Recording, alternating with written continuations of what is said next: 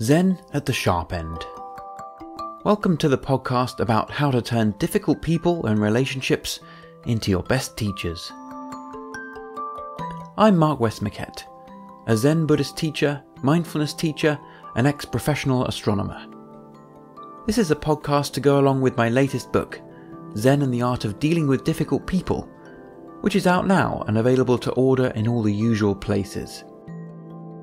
In each episode, we'll be exploring different varieties of people, relationships, and situations that we find irritating, difficult, or painful. Together with a number of Zen friends, I'll be discussing how the practices of Buddhism and mindfulness can help us see our difficult people as troublesome Buddhas, our greatest teachers. This podcast is sponsored by Zen Minded an online lifestyle store offering you the very best in Japanese craft, incense, and other Zen inspired home goods. Check it out at www.zenminded.uk. Welcome, April, and thank you so much for being willing to come on the podcast. Um, I wonder if perhaps we could start off just by talking a little bit about your background in Zen and, and how you came across Zen and how you've been practicing. Okay, yeah, thanks for asking me. Um, yes, I was. Uh, I came to Zen through a spiritual journey that I was already on. Um, I'd sort of like woken up to life at some point, you know, sort of like earlier, and um, as through that journey, there was just one moment uh, I had a big opening. I was turning left on a road, and then suddenly the whole world went off. And that's really, really hard to describe. But everything changed. Everything changed from there. I mean, it, um, and I went around sort of like didn't know exactly what had happened but I found it was so different. I couldn't talk to people. They, you know, they didn't understand what I was talking about. Mm. So I knew it was something to do somewhere. I'd got the thing of being present in the present moment. I'd heard somebody say the best present you could give yourself is being present in the moment. Mm. So I started with that and I just kept practicing that, that. And, and I knew that I just needed to wait till the right thing came along. I couldn't, you know, I couldn't find it. So something said wait. And I was on a retreat uh, with with some other people, and two people from Zenways came along to as facilitators to help us, you know, meditate and show us those ways. And from that, I just remember sitting at the tent door, talking to these guys, and that's it. I know, I know this is it because they were talking about Zenways, and mm.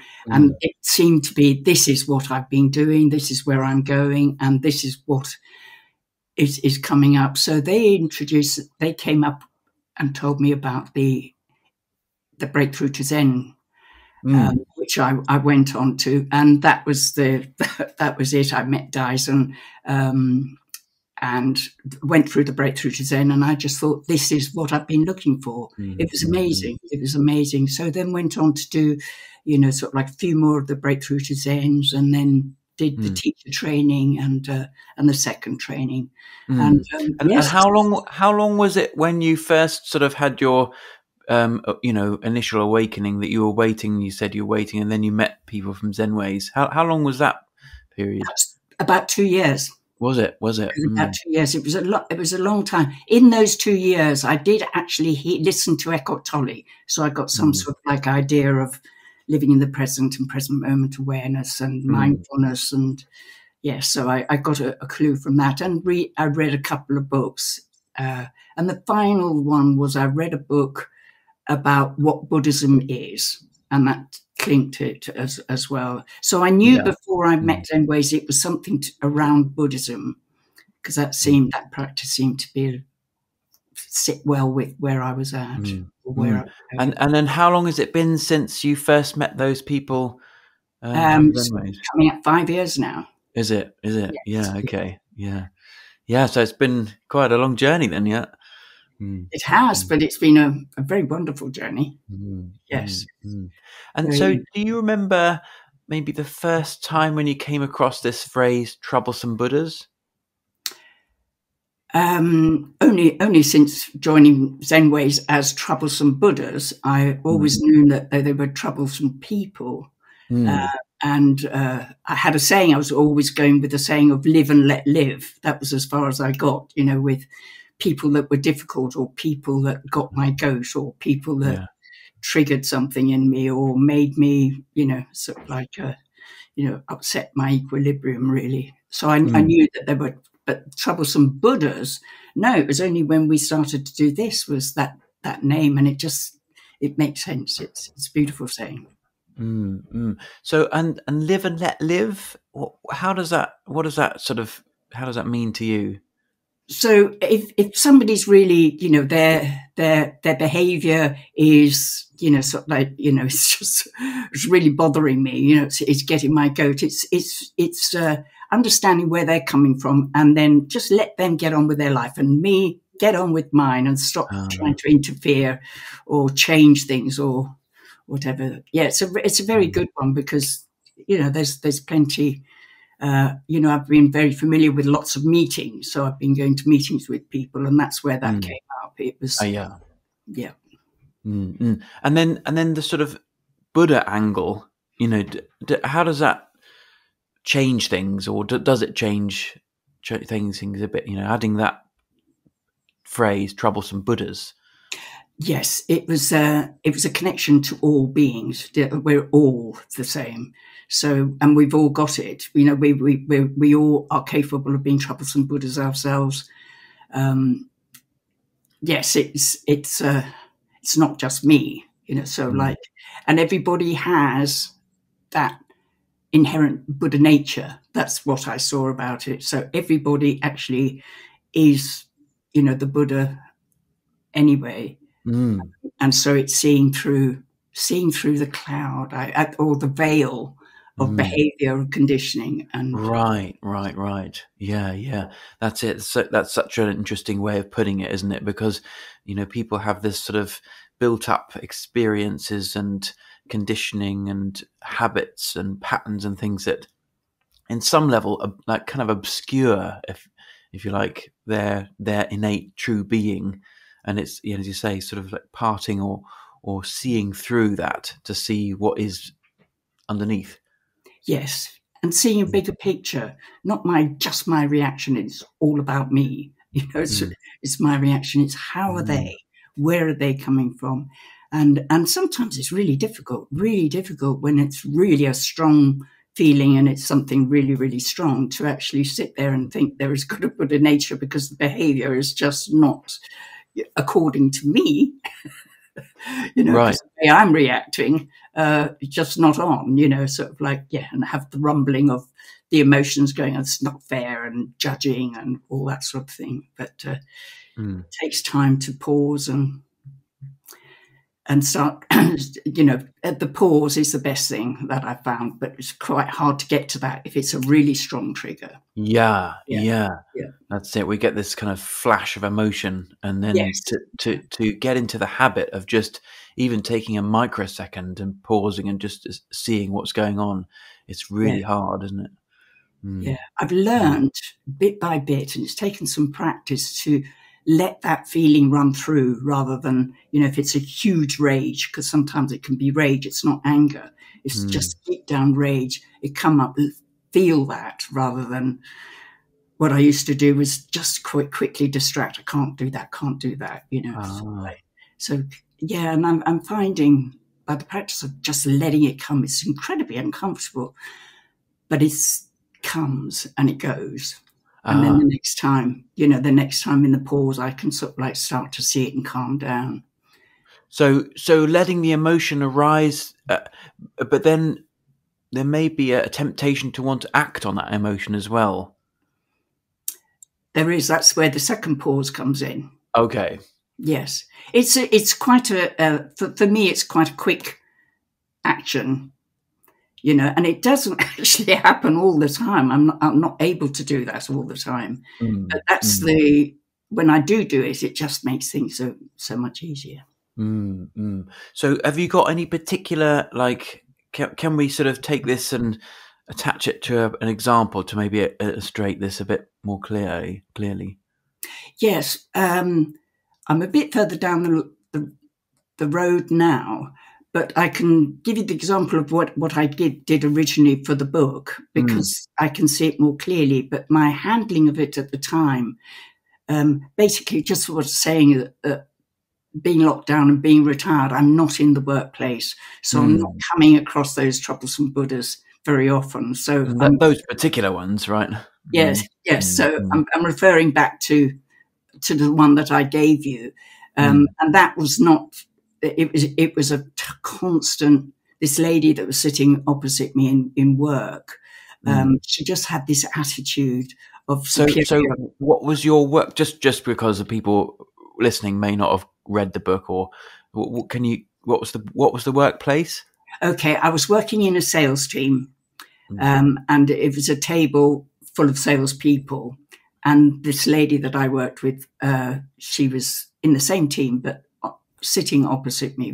Mm-hmm. mm-hmm. Um, and I would see her interactions all day. Mm-hmm.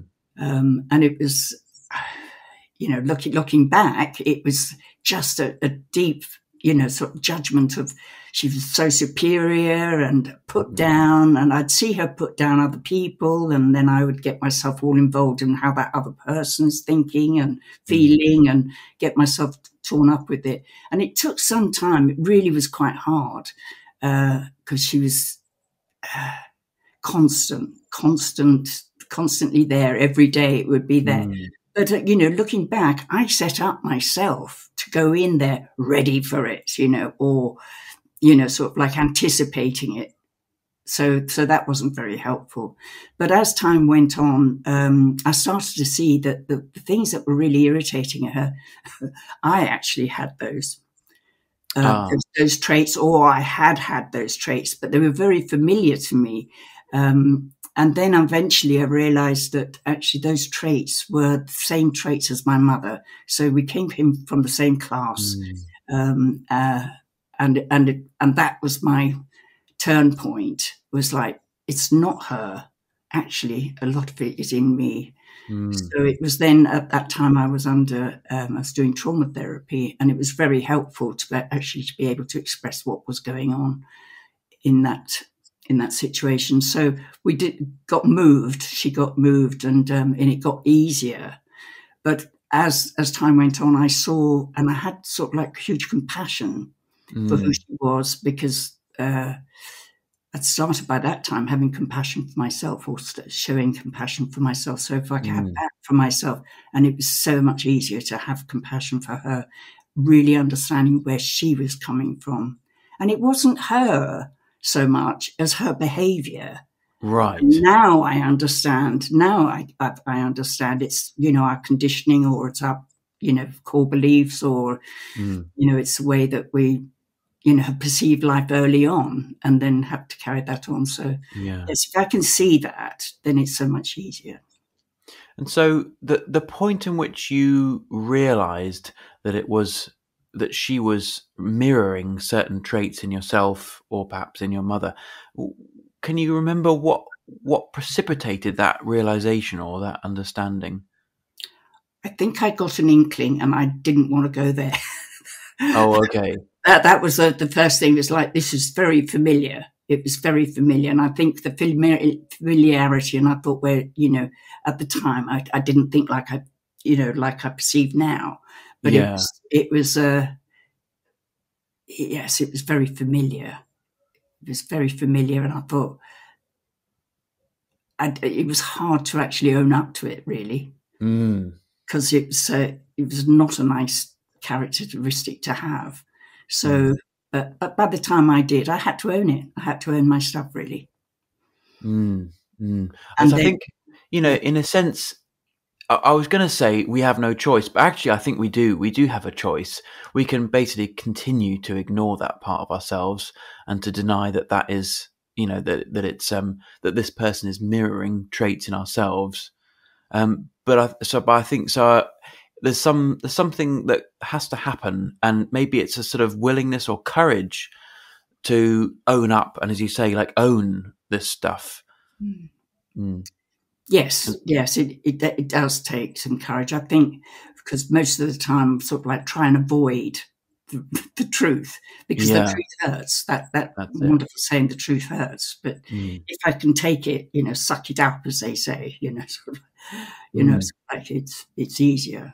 At that, that time, I was incredibly emotionally all over the place. Nothing had Mm. settled, so it was harder then. On reflection, now, if that same situation has come up, you know, from time to time, people will irritate more than anything else, and it'll Mm. always be with me. Turn the torch. What is it in me that is similar? You know, which is it's annoying, but I, and usually it's something I don't like about myself. Mm. Could be Mm. judgment, you know, sort of like somebody's judging somebody else, and I turn it around and think, oh, you do that sometimes. Mm. So I find out from from me, and then if I can then think, okay, do you forgive yourself for that, for be- being that? Um, then, and if I see that, then I'm. It's so much easier to just sort of like, oh, forgive the other person, and then I get Mm. what I call equilibrium, or we're the same. I get back to that. We're the same. You know, Ah. what's the problem? You know. Right, right, yeah. Mm. So there's there's there's one or two really interesting steps in what you just described there. The sort of um, realizing or or being willing to face these things that that there are traits within yourself, like like being willing to turn the, the lens or the, the turn the view back on yourself. And it, it feels to me like that's a certain level of a habit. Like we develop this this habit of as soon as someone irritates you, you look, okay, what is it in me? You know, that's that's sort of a, a practice, isn't it? And then then you talked about the the sort of forgiveness. So do you do you could you talk a little bit about over the years how that habit and that sort of practice of forgiveness has arisen in you? Yes, I think to begin with, um, it was a more entitlement. You know, I think I had this entitlement um, feeling that you know nobody could, should speak to me like that, or Ah, this shouldn't be happening to me. Uh, very much a resistance, very self-centered, and very much uh, about me. Um, and I think when I started to soften myself, I think there's something in me that softened that it was okay to be me. mm, Um, and then the, the you know, I, I learned, you know, just sort of like to be kind to yourself, to have compassion. And at the time, I hadn't a clue what that was because my right. history was of no compassion, of no love, really, from a Mm. family, sort of like as a family of being dealt with. So I didn't actually know how to do that. So I had to find out what, what that was. I found it out from books, by talking to people, by sharing with people, by helping others, and then uh, they in turn helped myself. Um, and that then then it just sort of like by softening, it was like it gave myself permission to forgive myself. Um, and and then it's become more eas easier to do. It's being less hard on myself. I think that was one of the comments that people used to say to me all the time was, April, you're so hard on yourself. Ah, ah, um, and there was no forgiveness or no compassion because I thought I had to do the right thing. mm, I had to do, you know, so that I wouldn't get criticized or so I wouldn't, um, yes, good to be criticized or not do it right. You know, I had to Mm. be do it right so then then I wouldn't get criticized. But all the time, it was I was doing the criticizing myself. It wasn't anybody else doing it. I Right. It was me me doing it. So it was really the softening. It was I, I can say that now. I didn't know that at the time yeah, but it was just of, I think more and more awareness, you know, more and more hearing it from others, you know, learning it from, yeah, learning it from others was a lot, yeah, you know, Yeah. how they did it. And it was, it had to happen within me. I, I couldn't make myself forgive myself. right. It just had to, it, it came. And I yeah, think, yeah. Mm. Like And over think- time. Mm. Yes, and one of one of the ones of trying to forgive myself or have compassion myself was to go and think about, for me, animals. How did I feel about animals? Which was all encompassingly compassionate and okay. loving and kind, you know. And that I remember that being first indication of, oh, this is what it feels like. So ah, I see. So, so going to like going to something in your in your sphere of your world or whatever where you feel very able to offer compassion. Mm, I mean, I, I suspect for other people it may be I don't know small babies or or um, y- you know other things, but but for you it was just thinking about animals and and starting off with that. Mm, yes, mm. yes, So there's something there about if you find someone difficult, being willing to turn the lamp around and look at yourself, and then like the willingness and the ability to forgive yourself for being who you are, then allows you to then turn that back out at the other person. Like there's a, there's a sort of inward process which then folds back out to the other person again. yes. But I, I must say, I do turn the torch around, but sometimes it's not all me. You know, I do, I do, I do actually recognize nowadays, you know, Yeah. actually that was unnecessary behavior. That was unhelpful behavior and acknowledge that. So For, that, for the other per- and the other Yes, person, I mean, yes. yeah. So Mm, mm. it might be, uh, you know, but I'd still turn the torch. But it's, I, you know, in turning the torch, I'm not saying, oh, it's all me. You know, it's all about Yeah, yeah, you yeah. know, Okay. who I am. Mm. It's, it's actually sometimes people's behaviour is out of line, you know, or Mm. harmful, especially when I see that happening to other people. That person, when when I see sort of like that troublesome Buddha upset other people, that's I Yeah. found one of the hardest. Oh, to to- witness to witness someone being irritating or painful to another person. Mm. Yes, I, f- I find that that harder to deal with than Mm. than personally me. You know, Mm. Yeah, got it. Yeah. Mm. Yeah. So, I mean, I wonder perhaps there are some other examples from, you know, just in your recent life of meeting difficult people. Well, uh, I think with COVID and and the lockdown, and also because I'm retired, I'm not getting out to, you know, I'm not in the workplace. Uh, Yeah, I go yeah. to the supermarket, and so I can quickly see, you know, uh, whether I'm standing in the queue and and looking at that person who's jumping the queue, and quickly, uh, you know, sort of like just know the irritation that comes up, the judgment that quickly come up. They shouldn't be Mm. doing that. Oh, that's rude or whatever. But then quickly tell you, oh, I wonder what sort of day they're having.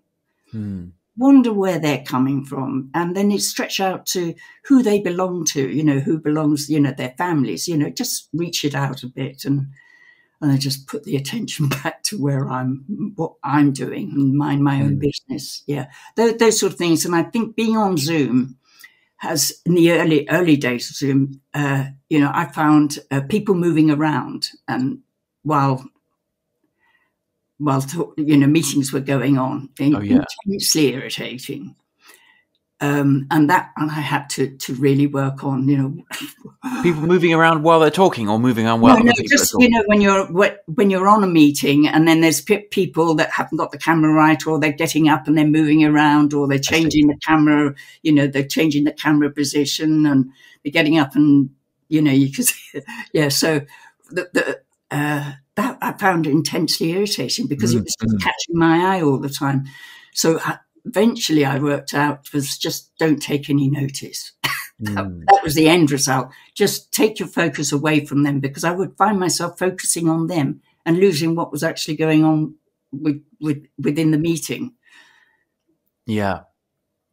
Yeah. So I think I think we have um, troublesome people, and then you could say like troublesome categories of people. Yes. You know, it's not one particular person, but it's a type of behavior that we encounter.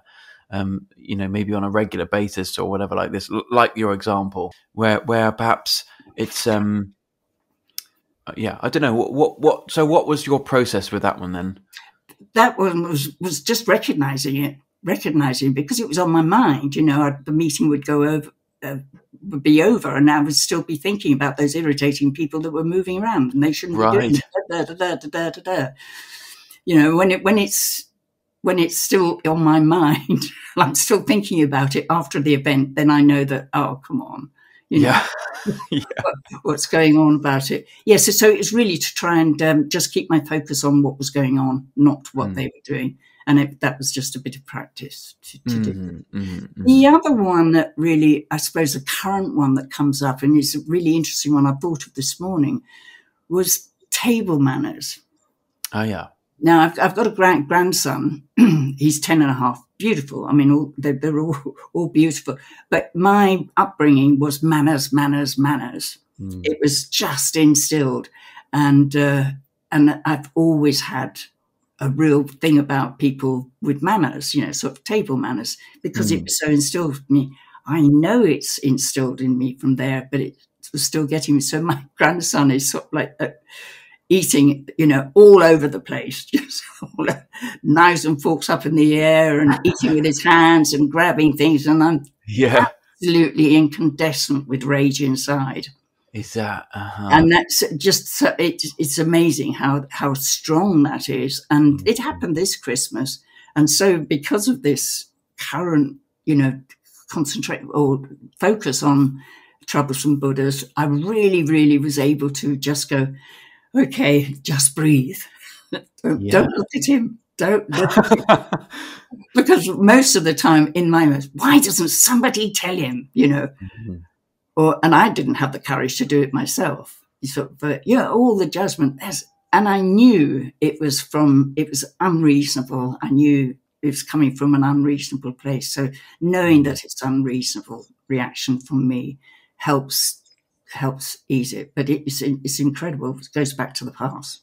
Mm, mm. So I'm just like, don't look at him, you know. And and I that particular this Christmas, it was just breathe through it and eat. do what you Right. do. Just eat. So Mm. and that eased off. And, and in fact, actually, by the end of it, it, it didn't bother me quite so much. Mm.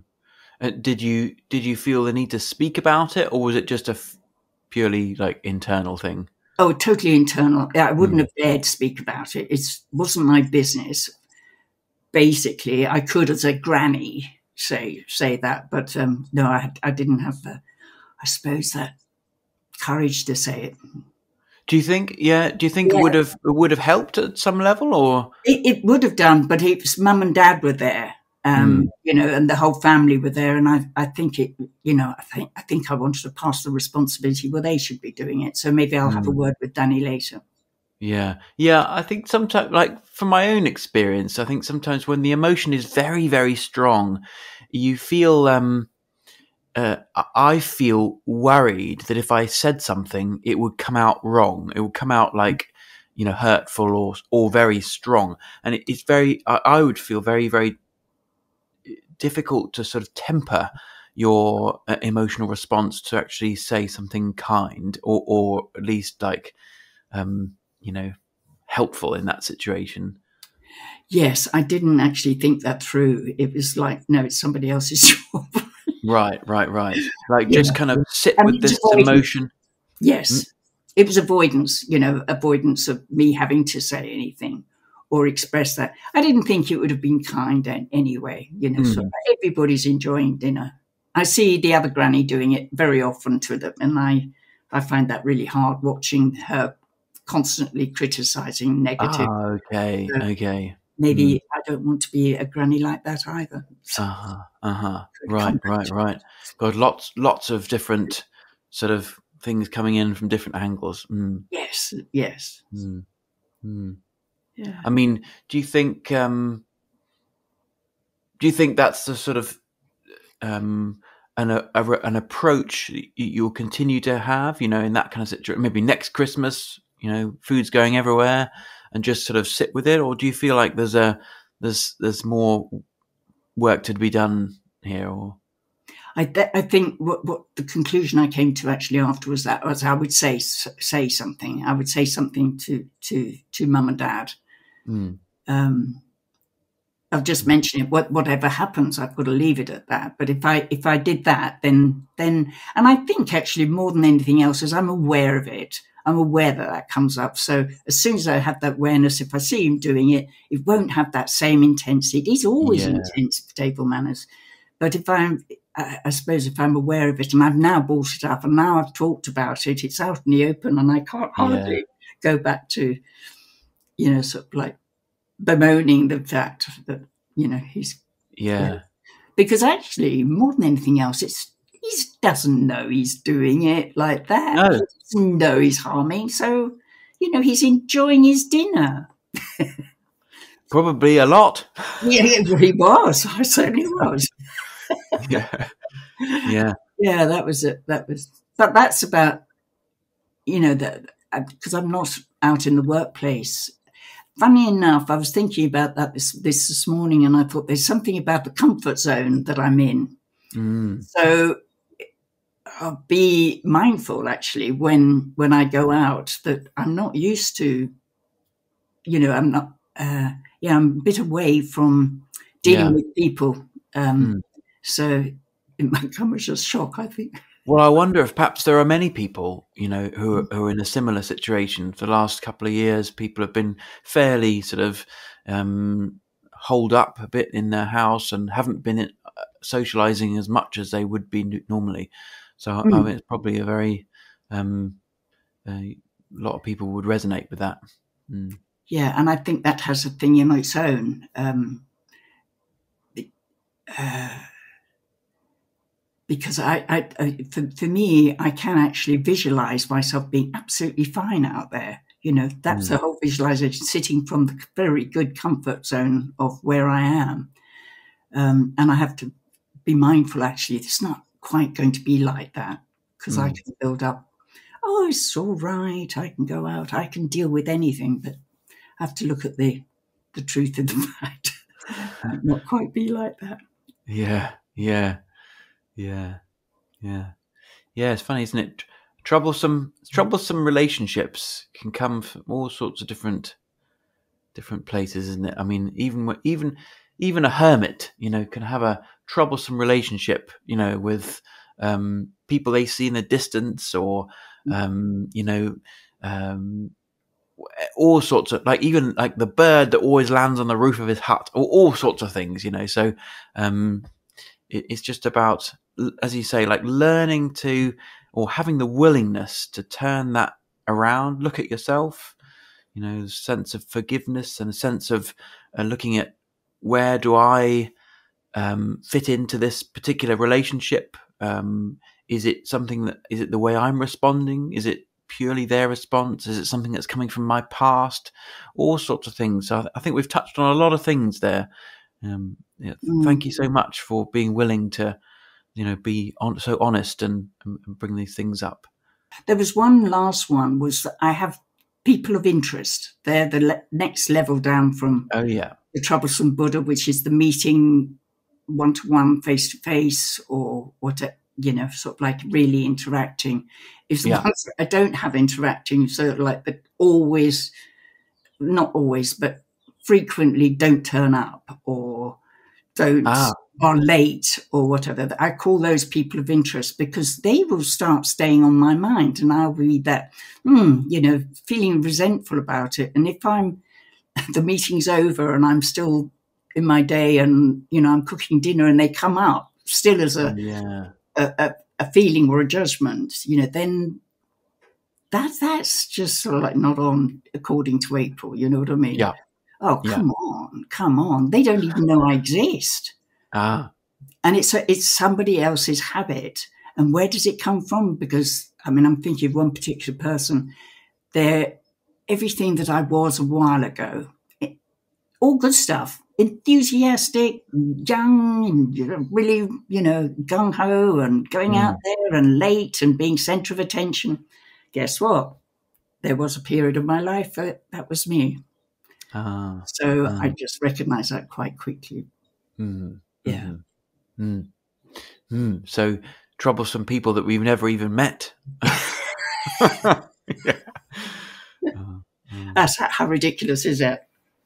Well, not at all. I, I, it's not ridiculous. I, I, th- I think that's that's the thing. The more we think about this, the more I think about this, the more you know. It, it touches so many different areas of our life in so many different ways, and uh, yeah, I mean, people not showing up. I, I it's amazing, isn't it? find find people irritating that we've never even met before. Incredible. Yeah, mm, that's mm. just daft. The other mm. troublesome Buddha is me. Mm. If I look at that, you know, it's uh, the way that I treat myself sometimes mm. with the harshness. So that that one's I have a you know have to keep looking at. Mm. So who's bothering me today? It's only me and my uh, ideas about myself. And that, that one is quite easy, easy. It's much easier to deal with today, you know, sort of because uh, I know it'll only be temporary. just pass. You won't be like this mm. forever, and you won't be thinking like this forever. Mm. Mm. Tomorrow you feel totally different about yourself. Hmm. Yeah. Well, I, I suspect that's a um, what what feels like quite a natural response, which has taken years of practice and reflection, contemplation to to get to that point. I, I, I get the sense that probably a lot of people would find that really difficult to appreciate. Oh, it's just today, just me, just right now. It'll be changing. That's that's quite a deep, like, uh, insight. Mm. Mm. And that that's actually through practice. Through practice, it, it, mm. it's practice and uh, it's kindness, kindness compassion, and uh, seeing the bigger picture. Mm. For me, I call it the bigger picture. You know, it's seeing not just that direct, say that person that doesn't turn up and always turning up. It's the bigger picture. Is where are they coming from? How are they in their lives? What makes them late? You know, uh, mm. and uh, and they, you know, sometimes I think I think what other I know what other people think, and that is the biggest illusion of all. Ah, yeah, right, yeah. You know, Yeah. that whole thing of being unafraid, of being afraid to say things or be do things. It's like what people might think. Mm. What's the difference between how I see myself and how other people see me? I just came to the conclusion I have no idea what other people think. But what I fear is that they think how I think, Yeah, right. Yeah. you know, Mm. which would be you know, if I've made a mistake, oh, they'll, be thinking, the silly fool, you know, why Mm. did you do that and everything. That's my thinking. It's not how they are. So that was a great one I found a couple of weeks ago. Mm. I have no idea how other people are thinking Mm. or Mm. who, who they are, but I've Mm. got, got a general sense how we all are. And they might actually have a little bit of me in there because I certainly have a little bit of them in me as well. Yep, that's it. Uh, yeah, yeah, yeah. Huh. Yeah. Well, I mean, thank you so much, really, um, for for for your honesty and willingness to to bring all of those um, situations and thoughts and reflections into this space. No, it's been a pleasure. Thank you. If you've enjoyed this podcast, please leave a review and a star rating on whatever platform you use. And do recommend it to others, because we all have difficult people in our lives, and each of them offers us a real opportunity for learning and growth. For more information about my book and what else I offer, head over to my website, markwestmoquette.co.uk. Thanks so much for listening. Bye for now.